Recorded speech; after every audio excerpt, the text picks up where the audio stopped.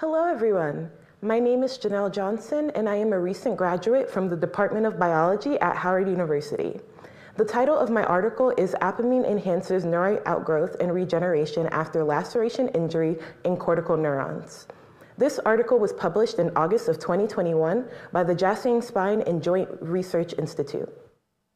To begin, apamine is a polypeptide primarily found in bee venom. It is said to be the cause of the first symptoms you experience after bee venom enters your system.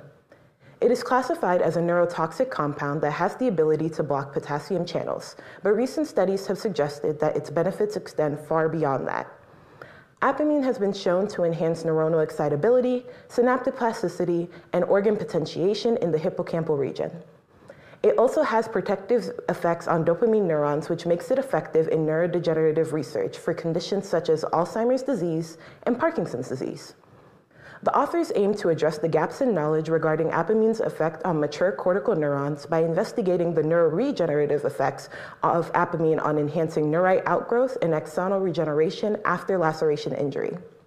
The other objectives of the study were to determine the viability of apamine as a therapeutic agent for CNS diseases and further investigate the pathophysiological mechanisms of neurite outgrowth and axon regeneration. The study used a variety of methodologies, including immunochemistry, PCR, neuronal viable assays, and Western blotting to investigate the effects of apamine on neurite outgrowth and regeneration. The neurons used in the study were primarily cortical neurons obtained from rat embryos that were cultured in a neuronal culture medium. The neurites were then mechanically wounded and treated with apamine at a range between 1 and 10 micrograms, and then fixated for a period of 24 or 48 hours. The authors then observed regenerated axons from the borderline at the lacerated area using immunocytochemistry. The results found were compelling. The apamine treatment increased axon growth beyond the borderline 24 hours post laceration injury. A high dose of apamine of about 10 micrograms had a greater effect on axon growth and the total, mean, and maximum neurite length. This indicates a significant increase in neurite outgrowth within a dose dependent manner, which is depicted in figure 1, letters C through E. In figure 1F, the authors examined that apamine promotes F-actin expression and induces a significant increase in the intensity of F-actin within the lacerated area in a dose-dependent manner. The authors also investigated changes in the expression of growth-associated genes to better understand the mechanisms underlying this improved neurite outgrowth and axon regeneration after apamine treatment.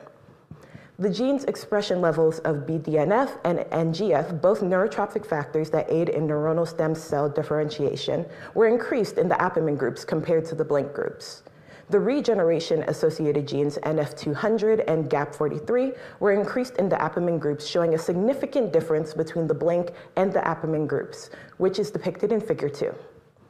These results suggest that the optimal therapeutic dosage for apamine should be between 1 and 10 micrograms for neurite extension and outgrowth. Apamine as a standalone treatment has been shown to increase gene expression in BDNF and NGF, as well as an increase in NF200 and GAP43. This is the first study to report apamine as a promising agent for axonal regeneration, promoting neurotherapy without neurotoxicity. The limitations of the study that I found were that the authors could not observe the extent of the effects of apamine due to being limited to the lacerated area. The study also did not account for adverse reactions to apamine or bee venom that could arise in humans due to the immune system's natural response to foreign substances. Future studies should examine the therapeutic effects of apamine in neurological animal models. My personal reflections on the paper is that it's a great foundational point to build on in vitro modeling for neurodegenerative disorders, as there is yet a viable, non-invasive model to observe these conditions. The paper generates evidence-based support for the potential use of bee venom and apamine as pharmacotherapy for patients who suffer from memory or mobility disorders. I would like to see future studies of apamine in a similar region of neuroscience, multiple sclerosis treatments, due to its ability to selectively control the S channels, which could be beneficial for prolonging action potential and improve mobility for MS patients. In closing, the authors and this study have proven that apamine is effective to enhance neurite outgrowth and regeneration after laceration injury in cortical neurons. This concludes my presentation, and I thank you for your time.